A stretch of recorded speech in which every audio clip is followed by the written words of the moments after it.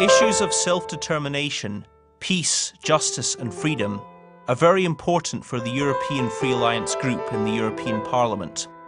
That's why a delegation of three MEPs visited Palestine to witness at first hand the situation in the West Bank, to see for themselves how ordinary people are managing in their day to day lives with all of the challenges that they face.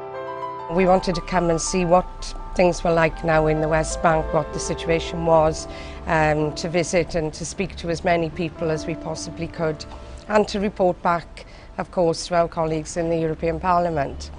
I think that um, we've had a, a few days packed full of, of visits and we have met a real cross-section of uh, society here, politicians, people um, in schools, uh, the refugee camp, all sorts of, of people. And uh, the, the message seems to be the same, that things aren't good, that things haven't improved in, in many years.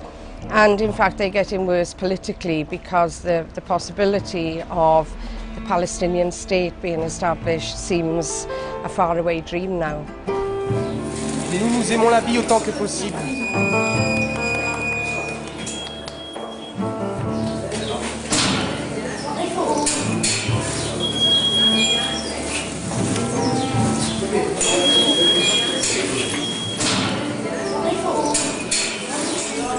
Hebrón é o símbolo e o exemplo vivo deste sistema de discriminación. É tan dura a vida ali que incluso pois a xente ten restriccións para ir á escola diariamente, vimos como os meniños non podían acceder á escola pola que accedían normalmente, e todo porque se instalaron ali 400 colonos xudíos. 400 colonos nunha poboación de 156.000 habitantes que condicionaron, que cambiaron a vida das palestinas et palestinos d'Hébron. On a le sentiment que la situation chaque jour devient plus complexe et il y a vraiment des tensions qui restent très très fortes et qui restent euh, refoulées par la répression, et uniquement par la répression et non pas euh, parce qu'il y aurait une situation qui s'améliorerait d'une façon ou d'une autre. The city of Hebron is divided into two uh, parts. Most important part as under the Israeli occupation directly until this moment. So we have 102 checkpoints surrounding the old uh, uh, town, and uh, everybody, every Palestinian wants to enter or uh, to deliver any kind of services for the Palestinians there uh, should uh, take a permission from the Israeli side. We are passing into H2, the restricted part of Hebron where settlers attack the people every day and the closed shops, the closed apartments, the closed markets. And this is the main checkpoint, which is, you know, you know, check, you know, preventing the people from living normally in this side. So we will pass this checkpoint and it's one of the 20 checkpoints in Hebron. And everybody has to go through Everybody. If you go to school, if you have, if you go, go to university, if you go to your work, if you want to do shopping, you know, daily shopping, you have to pass the checkpoint. I pass this checkpoint more than 10 times a day. How often would it close, for? Maybe now they will close it. Nobody knows. But you know, at least a week, uh, once a week. Okay, let's pass it.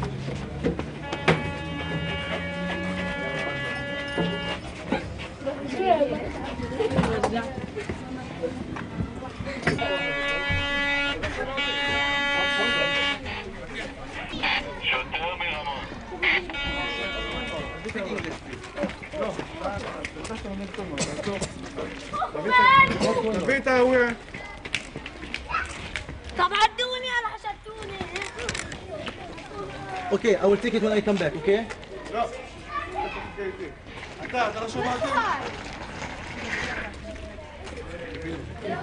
אתה הלך אחורה. מי אתה את אחורה. אתה איתו אנליסט. אל תענה לי, אל תענה לי. וואי וואי, you're nervous. אל תענה לי. What's going on? What's going on? Okay, אוקיי, what's going on? What's going on? What's going on? Tell me, what you mean? אתם לא שומעים אותי? לא, לא, לא תקשיבו כולם, אתם רואים איפה שהמדרגות? אתם רואים איפה שהמדרגות? אתם רואים איפה שהמדרגות? לכו לשם. Go back, there. Understand English? Yeah, yeah, every day.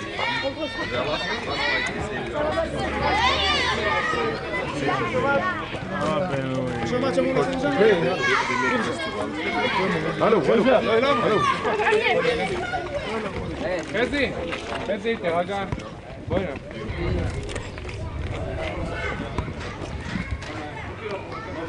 براء اطلع من عندك بلاش أوكي اوت Here, out, out, out, move, move, out. Thank you. This is what's happening all the time, like this. Even we were lucky because you were with us. You know, usually the soldiers are allowed to detain me or detain any Palestinian for three hours. And usually they, they tell us, okay, three hours, you wait at a checkpoint three hours. You know, it means three hours. Three hours and three hours and three hours. It's every day like this. And they arrest, you know, here, every day almost uh, one or two Palestinians. For nothing. It's like Every this. day. Yeah. Every day. And yeah, every day. And if we The West Bank city of Hebron is a flashpoint in the Israeli Palestinian conflict. Settler activity has led to violence against Palestinian civilians, destruction of Palestinian property, and abuse of Palestinian rights under international law. Discriminatory privileges for settlers further compound these abuses and create an environment in which settlers can act with apparent impunity. Limitacións de movimento para que esa rúa, a, esa chamada Xujada Street, este pechada, haxa dous camiños, un para os palestinos e para os colonos judíos, unha estrada asfaltada, unha estrada que evidencia que hai unha división, que evidencia que hai unha discriminación manifesta. Ali vai na súa rúa, construída especialmente para eles, e aquí vai a xente palestina, totalmente separada.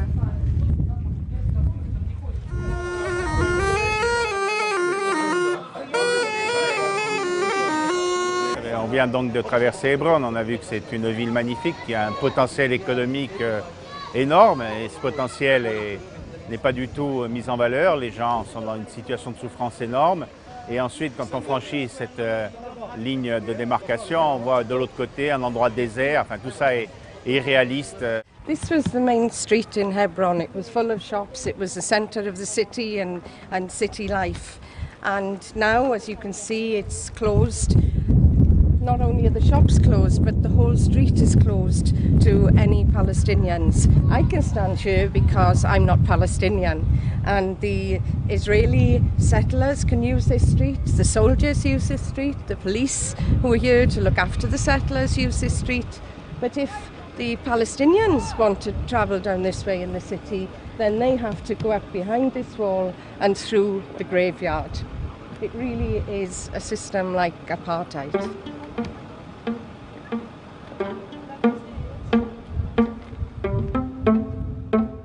They destroyed many shops in 2000 and they rebuilt them again, but the uh, army kept them closing. And then when, when the shop closed, he lost everything. انت لما سكروا الدكان خسرت كل دخلك. All his income was lost after they closed his shop.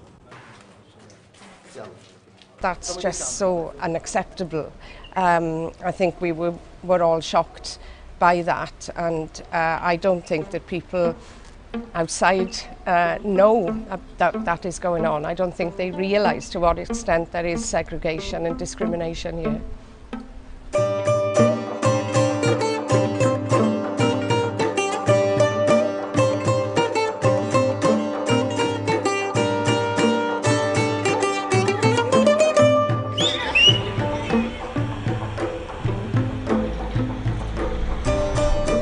Freedom of movement is a prerequisite for accessing basic human needs such as healthcare, education, government institutions, workplaces, and for maintaining social, cultural, and family ties. The Israeli army has enforced systematic movement restrictions, which have become effectively permanent in some cases. These restrictions impact upon most aspects of Palestinian life and violate many of their basic rights and entitlements under international law. Hai toda unha política de restriccións dos movimentos a través dos chamados checkpoints, a través dos numerosos controis, das barreiras. Hai nada máis e nada menos que no territorio palestino 521 ah, unidades, espazos físicos, impedimentos, que fan que cada día, para ir á escola, para ir traballar, para ir ver a un familiar, teñan que pasar eses controis. Nos mesmos tamén os vimos, os sufrimos, e, e dende logo pois foi un exemplo do que pasa e sufre diariamente o povo palestino. In the two days that we travelled, we were stopped at checkpoints. Um, once having to get off the bus and the, the bus was searched. The second time we, we didn't have to get off the bus, but we were stopped and held up in a checkpoint. That was us visitors, um, not living here, but still having our schedule disrupted by the, the checkpoints. People living here, of course, have that all the time, every day, several times a day. Israeli checkpoints in the occupied West Bank have become part of everyday life for the thousands of Palestinians who must pass through them daily. They are a form of collective punishment, turning Palestinian cities into prisons.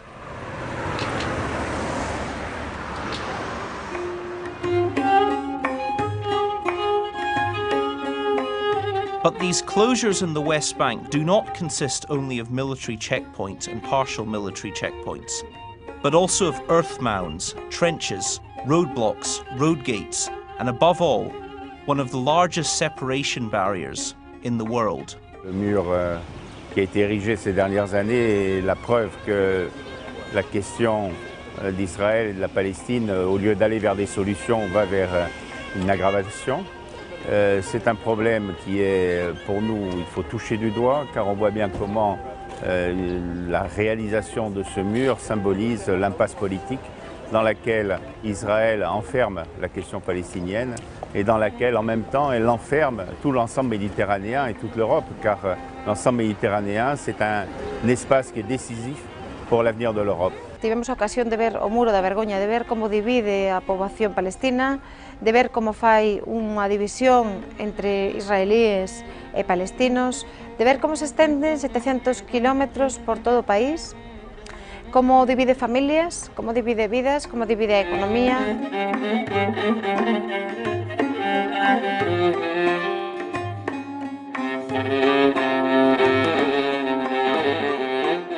This giant wall has been built within the territory of the West Bank, rather than along the Green Line, which is the de facto internationally recognized border based on the Armistice Line of 1949.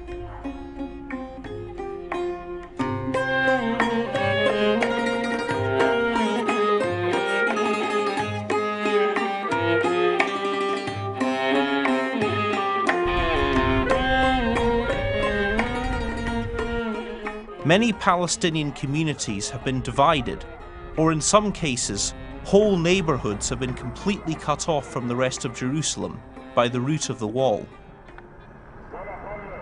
One of the most important thing of this greater Jerusalem concept is to create, as Netanyahu, as Olmert, as Barak, as all of their formers have repeatedly say, to create such a huge Jerusalem that it would be impossible to divide it. When the time will come to finally put the card of Jerusalem on the negotiation table, Israel can argue that dividing Jerusalem will actually harm her civilians. The more that you build around it, the more difficult it will be to separate it and having East Jerusalem as the capital of a future Palestinian state all of these enclaves will exist without having geographic continuity between one each other, surrounded by settler development.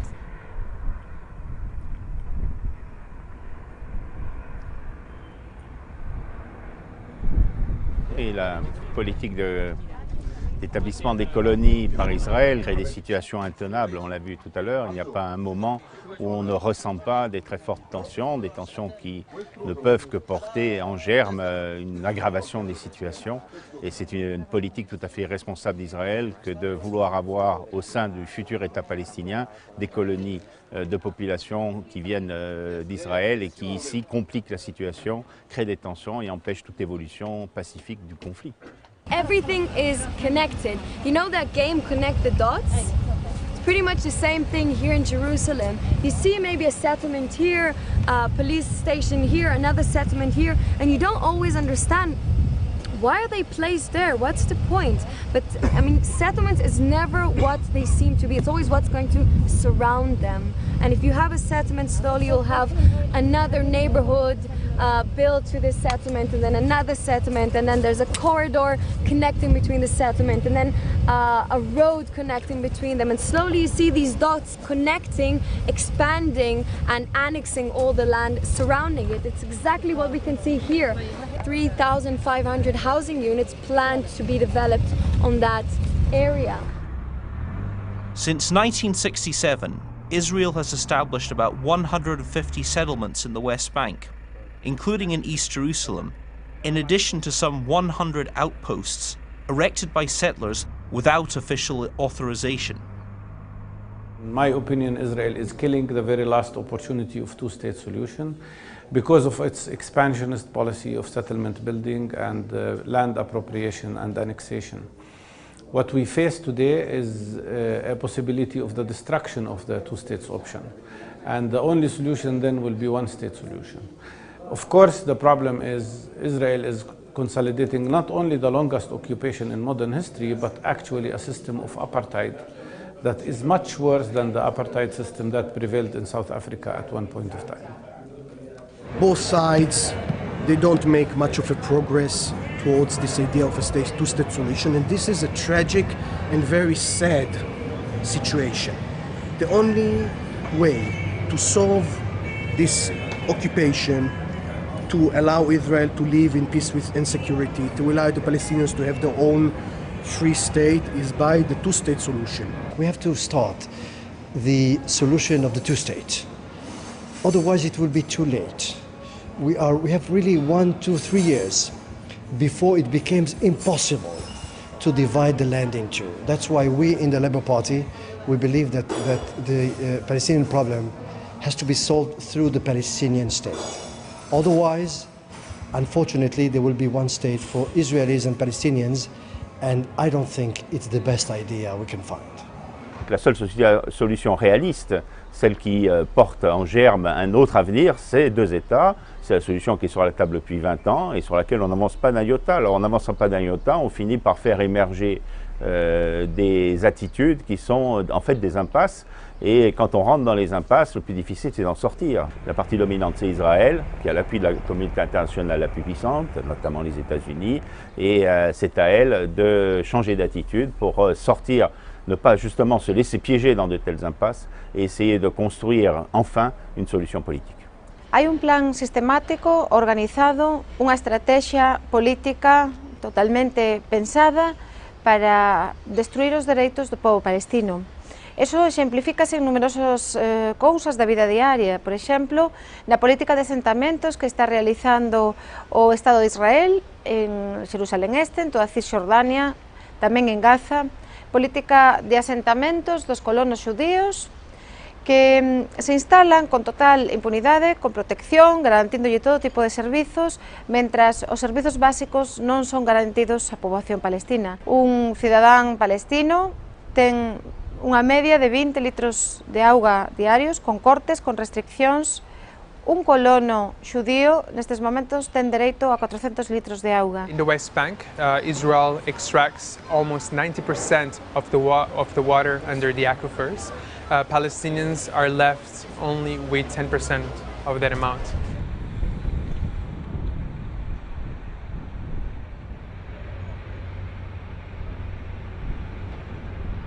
the extra water the Palestinians need, they actually have to buy back from the Israelis, even though it's their own water. People don't have enough for, for showers, for, for everyday use, things that we just take for granted.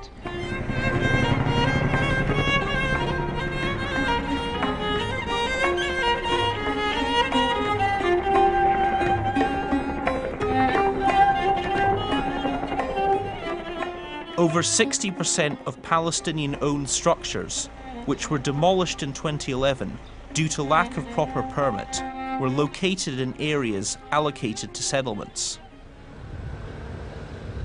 This is the Silwan area in occupied East Jerusalem, where over 1,000 Palestinians face losing their homes.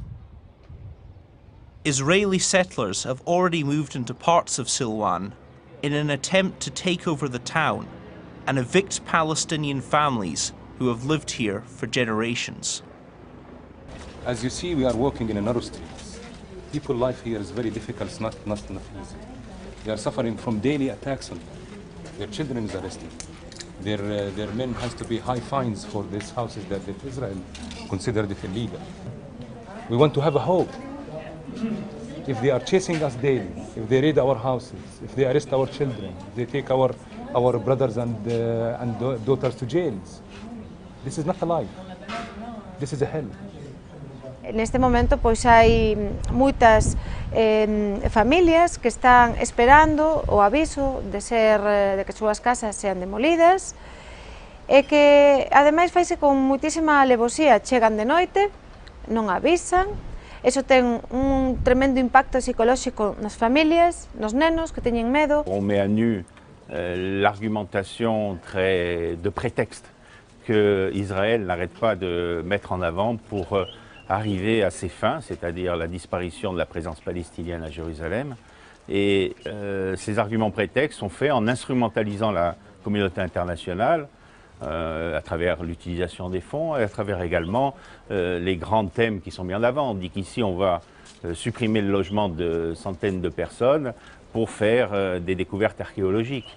on va avoir ailleurs ce sera au nom des droits de l'homme qu'on va euh, piétiner les droits de l'homme. This particular community has set up a, a, communal area, a big tent in fact, where they meet, um, where they focus and plan their campaign because they're determined to stay there. They don't want to leave their community. They, they want to stay there. Their children are there, their parents are there. Um, and yet uh, they are under threat and they know that any time there could be a knock on the door and there'll be bulldozers and police and soldiers outside and they, they'll just be moved. This is our land and this is our houses. We are not going to leave it. They can do whatever they want. We are staying here, we born here and we'll die here.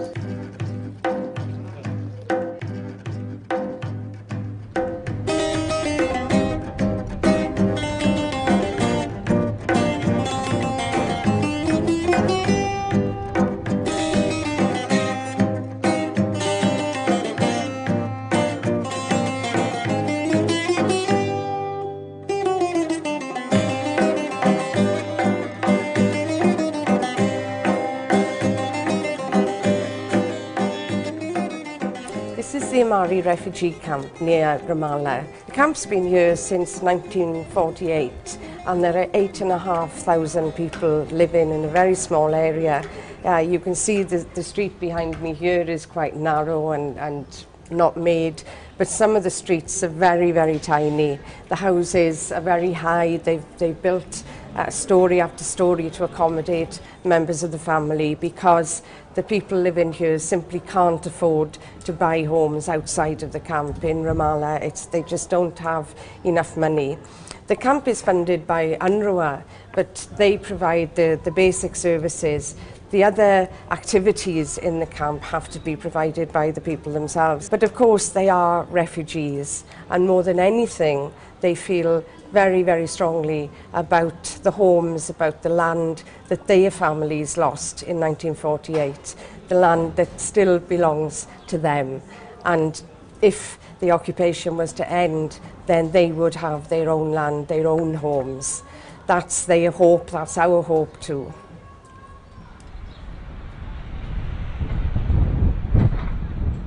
Aquí podese comprobar como é o campo de refugiados de Amari, no? como está en extrema pobreza, como hai unha ausencia de economía, como están as casas en, en malas eh, situacións. Este é eh, o exemplo das persoas que no, as que non se lle deu unha solución política. Mentras este campo está aquí por máis de 60 anos, ali enfrente, naquelas luxosas casas, construen asentamentos a poboación xudía con total impunidade. C'est une situation qui ne peut se débloquer que si ces personnes qui n'ont même pas une carte d'identité, qui ne sont que des réfugiés. Il faut qu'ils trouvent un statut. Et pour qu'ils trouvent un statut, il faut que l'État palestinien se crée. Euh, c'est de la nécessité. On ne pourra arriver à des solutions que si on remplit ces préalables. Or aujourd'hui, on repousse les préalables et en repoussant les préalables, on empile des étages sur les étages, des gens sur les gens, des frustrations sur des frustrations et on ne crée pas les conditions d'une solution politique. Uh, state, uh, everything which is called refugee will be deleted from the dictionary because we will not be refugees anymore. We will be living in our own state. All the world will know us not just as uh, people who live in West Bank. What what West Bank? I don't know, but uh, will, they will we will be known as Palestinians living in Palestine in a place in a in a state on the map called Palestine.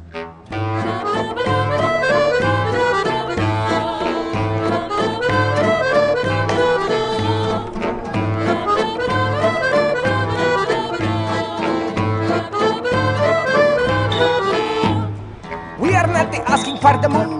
Let us make a choice. Let us use our voice. Follow the way that we have to travel. Follow the way, not this one you put on. Some alone that you the news. Make a mother cry, make a people die. It is not in this silly situation. We can build a better future. This is the last visit of our short but very busy trip to Palestine. And there's no better way to finish up than in a school here in the Amari refugee camp with the young boys playing football, enjoying themselves like boys anywhere else, except that they are living in a refugee camp without all of the things that most of us take for granted. But this is the next generation, the generation of the future, and I think that their smiles show that they are full of hope, and we have to believe that we can build a better future.